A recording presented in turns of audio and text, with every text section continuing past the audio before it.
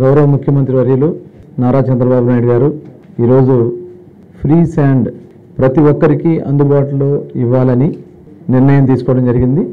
దానికి తగిన విధంగా గైడ్లైన్స్ తయారు చేసుకోవడం టోటల్ అవైలబిలిటీ రాబోయే మూడు నెలల వరకు ఎందుకంటే వర్షాలు సీజన్ వస్తుంది కాబట్టి ఈ మూడు నెలలకి మనం ముందు టోటల్ గైడ్లైన్స్ కానీ టోటల్ దాన్ని ఎలా చేయాలనేది ఒక విధి విధానాలన్నీ కూడా తయారు చేసుకుని రమ్మని చెప్పడం జరిగింది. ఇది నిజంగా ఒక శుభపరిణామం ఆంధ్రప్రదేశ్ రాష్ట్రంలో ఇవాళ కన్స్ట్రక్షన్ యాక్టివిటీ గత ఐదు సంవత్సరాలు పూర్తిగా నిర్వీర్యం అయిపోయింది భ్రష్టు పట్టిపోయింది. ఆదాయంగా మరి పేదవాళ్ళని దోచుకున్నటువంటి రంగం ఏదైనా ఉందంటే ఈ శాండ్ వల్లే ఇది పెద్ద ఎత్తున జరిగింది. అలాంటి పరిస్థితులు మళ్ళీ రాకుండా ఉండాలి. ప్రతి ఒక్కరికి ఇన్ టైం అవైలబిలిటీ కూడా ఎక్కడ కూడా స్టా లేదు అనేది లేకుండా ప్రతి ఒక్కరికి అందించాలి.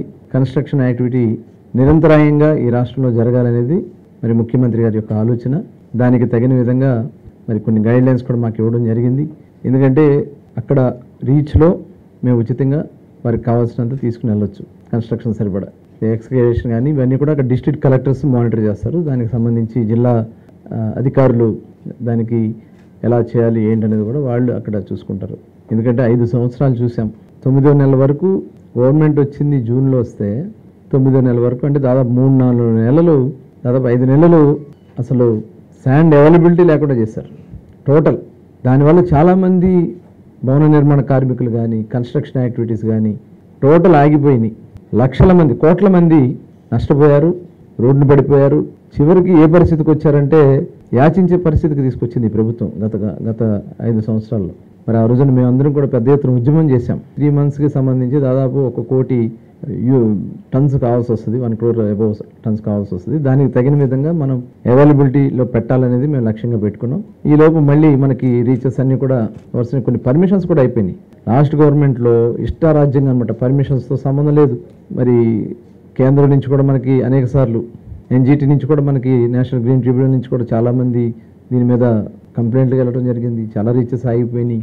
మరి ఈసీలు ఇవన్నీ కూడా లేనటువంటి ఇన్వాల్వ్ క్లియరెన్స్ లేవు. ఇవన్నీ కూడా చాలా ఉన్నాయి ఇష్యూస్ ఉన్నాయి. అవన్నీ కూడా కొద్దిగా స్టడీ చేయడం కోసం ఈ పది రోజులు పదిహేను రోజులు ఆలస్యమైంది. దీనికే మేము బాధపడతా ఉన్నాం. ఇంకా ఇక్కడి నుంచి ఎట్టి పరిస్థితుల్లో కూడా శాండ్ లోటు అనేది లేకుండా చేయాలనేది మేము లక్ష్యంగా పెట్టుకున్నాం. రాష్ట్రంలో రాష్ట్ర నలుమూలలా కూడా ఈ యాక్టివిటీ జరగాలి. దానికి తగిన విధంగా శాండ్ని పూర్తి స్థాయిలో అవైలబిలిటీలో పెట్టాలి. అట్లాగే దీన్ని నిరంతరం మానిటరింగ్ రేట్ల విషయంలో ఎక్కడన్నా ఈ ట్రాన్స్పోర్టేషన్ సంబంధించి ఎక్కువ చేసుకుని వీళ్ళు ఎవరైనా బ్లాక్ మార్కెట్ చేయాలని చూస్తే మటుకు తీవ్రమైనటువంటి చర్యలు ఉంటాయి అట్లాగే అఫీషియల్గా కొన్ని స్టాక్ పాయింట్స్ పెట్టారు. ఇంకా అన్అఫీషియల్గా ఉన్నాయి. అవి కూడా మేము మొత్తం టోటల్ హ్యాండ్ ఓవర్ చేసుకోమని చెప్పి మరి ఆదేశించడం కూడా జరుగుతోంది. దీని మీద రెండు మూడు రోజుల్లో ఒక క్లారిటీ తీసి డేట్ కూడా ప్రకటించడం. ఎందుకంటే ఎంత తొందరగా వీలైతే అంత తొందరగా ఇవ్వాలని చెప్పి మేము ఆలోచన చేస్తూ ఉన్నాం. అన్నీ కూడా ఎక్కడ ఇబ్బందులు రాకుండా అన్నీ కూడా సరిచూసుకుని పూర్తి స్థాయిలో ఉచిత శాండ్ ప్రతి ఒక్కరికి ప్రతిరోజు అందుబాటులో ఉండే విధంగా చేయాలనేది గౌరవ ముఖ్యమంత్రులు నారా చంద్రబాబు నాయుడు గారి యొక్క ఆలోచన. దాన్ని పూర్తి స్థాయిలో అమలు చేయడానికి అన్ని చర్యలు కూడా తీసుకుంటా ఉన్నాం.